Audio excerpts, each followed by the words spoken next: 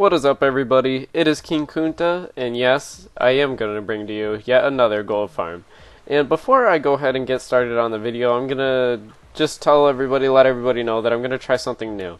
So, uh, my past couple videos have been kind of, um, I want to say, like, controversial uh, in the fact that just people aren't really happy with how long my videos are and stuff like that in general. So I'm just gonna go ahead and I'm gonna start uh, making sure I get to the point quicker, uh, faster in videos, and I'm gonna try out making videos uh, that are not as long as uh, before. Obviously, just to try to make everybody who is kind of upset with that a little bit happier.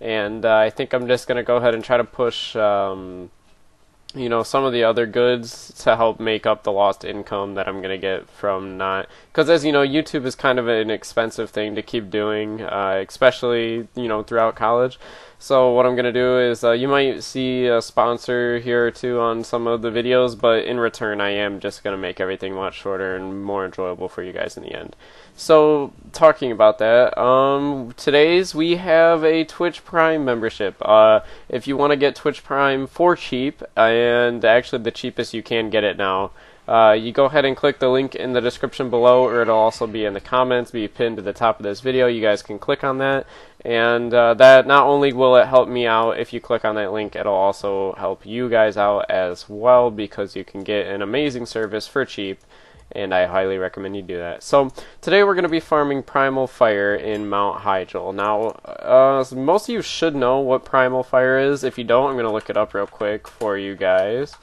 So Primal Fire is a Cataclysm mat, and as you can see, for one of them, it's going for about you know 400 on my server, maybe a little bit more, maybe a little bit less on yours. It's highly um, like variable across all servers. So as you can see here, uh, this is a stack of 100 is actually quite a bit.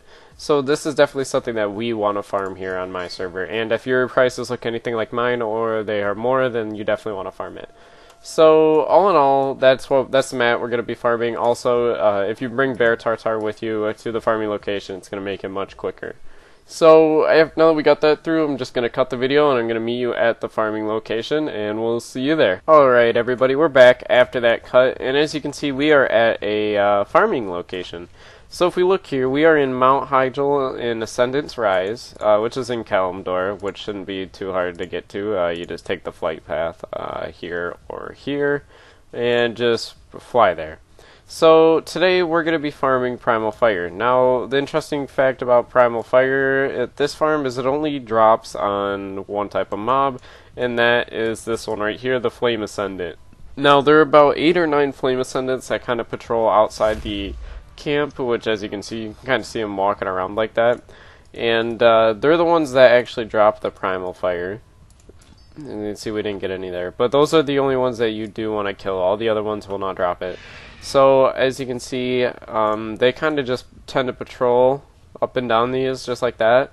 And um, this farm, maybe as a solo, is not as uh, profitable as it would be to be with a group because these mobs do instant respawn if you can have enough people taking them out. So you have guys kind of all at these corners, uh, just killing the flame ascendants, and you can get them to instant spawn, and uh, you will actually have like a constant flow of primal fire uh, because the or sorry volatile fire because they will just drop them like crazy.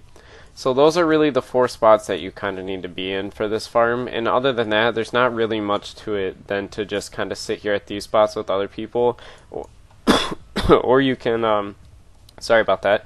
Run it by yourself uh, with a group of people, or by yourself. Just go ahead and killing them. But like I said, it is uh, much better if you do it with a group.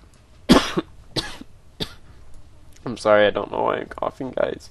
Okay, I'm done. King Kunta's done dying. Sorry about that, guys, but that's really all I have for the video. Um, if you did like the video, if you could like, comment, or subscribe down below, that would be great. And also check out the links I have in the description below and the comment section, uh, because every time you guys check out those links, it really does help me. So please do that because um, I want to make this my job. And I'll see you guys in the next one. Bye.